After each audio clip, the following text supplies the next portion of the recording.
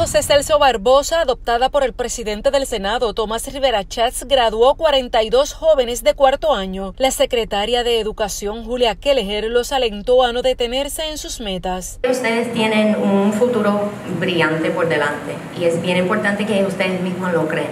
Porque si crees que puedes y crees que no puedes, en los dos casos tienes razón.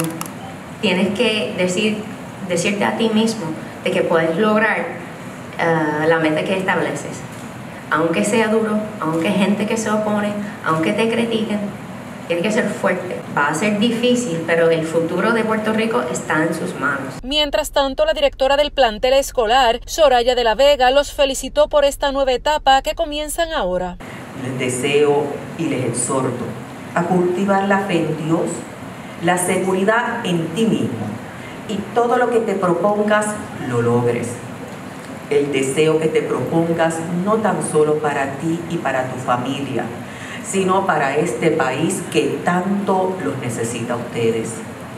Reconocemos, los amamos y recuerden que las oportunidades son iguales para todos, pero si tú las dejas pasar, otro la toma en tu lugar.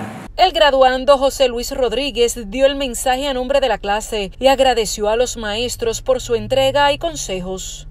Sentimos una alegría inmensa porque después de tanto tiempo trabajando arduo y esforzando, al fin logramos llegar aquí, a nuestra grabación, que es el final de una de las metas logradas y el comienzo de una nueva etapa, nuestra vida universitaria.